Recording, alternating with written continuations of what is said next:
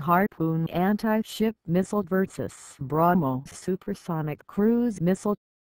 The Harpoon is an all-weather, over-the-horizon, anti-ship missile system developed and manufactured by McDonnell Douglas Boeing Defense, Space and Security USA.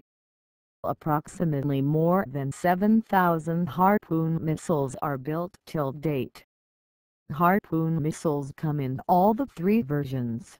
Surface-launched RGM-84A. They're launched AGM-84A and submarine-launched UGM-84A whereas on the other side BrahMos is a short-range ramjet supersonic cruise missile developed by BrahMos Aerospace Private Limited which is formed by a joint venture between Russian Federation's NPO and India's Defense Research and Development Organization DRDO. It can be launched from submarines, ships, aircraft and land it is considered the world's fastest cruise missile in operation.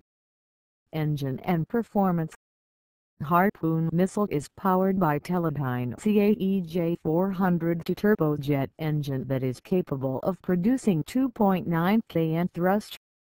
It has a solid propellant booster for surface and submarine launches. The missile has a speed of 537 miles per hour with the operational range of 124 kilometers depending on the platform from which it launched.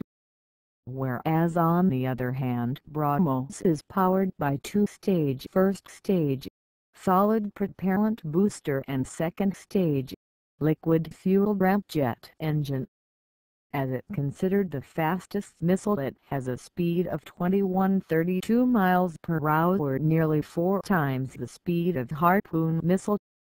It has operational range of 300 km to 500 km which is also the fourth that of Harpoon missile.